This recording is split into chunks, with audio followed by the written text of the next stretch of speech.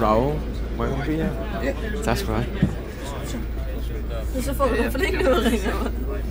Ej, kun ikke i dag. Og hele tiden. Må jeg godt være med i din video? Ja. Morgen. Meget.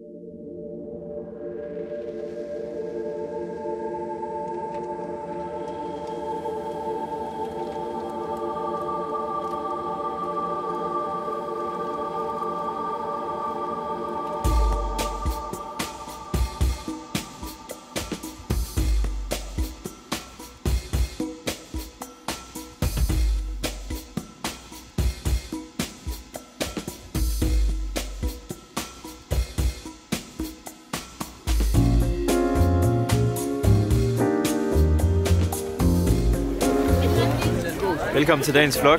Den starter i dag ude i Fredericia. Vi skal ind i et uh, messecenter til noget uh, entreprenørskab award. Det bliver spændende. Vi skal rundt uh, til en masse steder. Altså lige kigge, slå uh, øreflammerne ud og få, få lyttet og blive klogere på livet. Godt, Carsten? Ja, helt sikkert.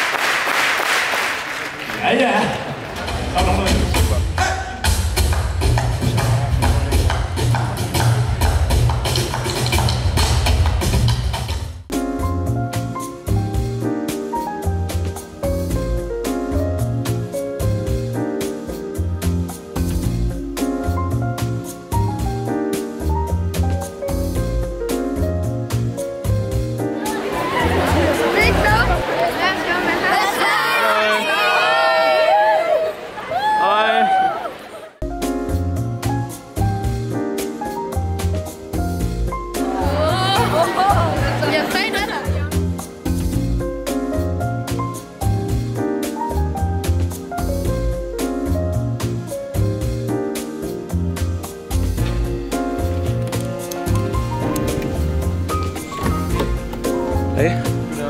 Hvorfor er du ryddet op i bilen? Hvad? Du ryddet op i bilen? Ja. Så jeg kommer herhen på kontoret, øh, og jeg er kommet hjem fra Fredericia. Kan jeg nok regne ud. Øhm, det var sgu meget spændende, synes jeg. Noget, der især var spændende, det var, øh, at jeg ikke lige kunne gå derhen, uden at blive prikket på skulderen. Det var fandme sjovt. Jeg tror, jeg har fået taget cirka, jeg overdriver ikke, 100 billeder i dag, og skrevet 50 autografer. Wow. Det er godt nok øh, mærkeligt og meget uforventet i forhold til, at jeg troede bare, at jeg skulle hen med min skole. Jeg vidste ikke, hvilket omfang arrangementet havde. Jeg vidste ikke, hvilke mennesker der kom og sådan noget. Øh, så det var meget øh, uforventet på en eller anden måde. Øh, det er sjovt. Det er virkelig, virkelig fedt at møde jer ude i virkeligheden. Øh, helt sikkert. Øh, og jeg håber, at mange af jer blev glade. Hvis at, øh, jeg kan gøre sådan noget, så, så, så, øh, så bliver jeg sgu glad, hvis man kan gøre andre glade. Jeg kunne i hvert fald øh, høre på folk, at, at øh, nogle af dem blev glade. Øh, så hvis du ser med derude, tak for hilsen, og tak for de søde ord. Det er jeg fandme glad for. Det sætter jeg meget pris på. Øh.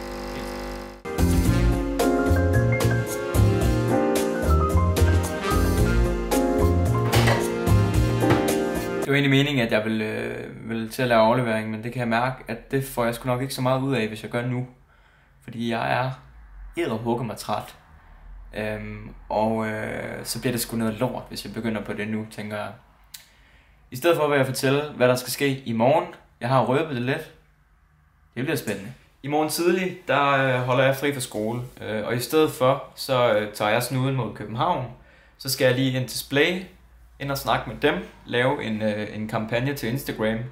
Øhm, det er sådan noget, øh, det får jeg at se på Instagram.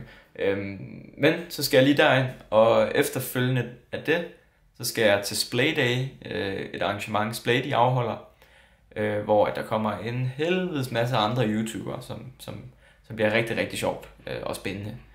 Og fedt. Det er altid sjovt, eller det er altid godt lige at få, få hils på dem alle sammen.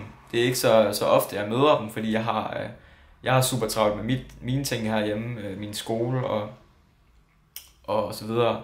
Så, øh, så det bliver lækkert lige at afsætte lidt tid til at være sammen med de, med de gode YouTube-gutter og gutinder. Øh, det er altid mega, mega, mega hyggeligt. Og det vi skal lave, det er, at vi skal i Tivoli. Så skal vi spise noget god mad. Måske lige drikke et par drinks eller et eller andet i den stil. Øhm, og så ved jeg ikke, om jeg, øh, om jeg bliver i København. Eller om jeg faktisk bare vender snuden hjem af igen samme øh, dag. Øhm, det skal jeg lige have fundet ud af. Øh, det er i hvert fald sådan, at jeg skal kunne sove et sted, hvis jeg bliver i København. Fordi jeg har sgu ikke råd til at betale for hoteller lige for tiden. Øhm, så hvis jeg kan sove hos nogen, så kan det godt være, at jeg bliver. Det kan også være, at vi tager i byen eller sådan noget. Det kunne være spændende. Men jeg skal måske nok øh, til fødselsdag i Ribe om lørdagen. Måske ender det med, at jeg, øh, at jeg bliver i København hele weekenden, det ved jeg ikke. Jeg skal i hvert fald have min computer og mit kamera med, så jeg kan lave min, min uh, daily vlog som altid. Uh, så er jeg i hvert fald sikker på det. Og så regner jeg også med, at jeg uh, skriver noget aflevering på vej hen, i, uh, hen til København i morgen i toget. Så kan jeg lige optimere min tid der, uh, og ikke spille den på alle mulige andre ting. Ellers så var der sgu egentlig ikke så meget andet, jeg skulle herhen. Jeg vil lige drikke min kaffe færdig. Så jeg vil vende snuden hjem igen og få slappet lidt af, så at jeg er klar til i aften, når gutterne kommer. Det er torsdag. Det betyder evaluering. Det er gutterne. Det er drengerøv. Det er alt det, som er lækkert. Så jeg drikker færdig, lukker ned, hjem igen, og så skal jeg ligge på langs, kan jeg mærke.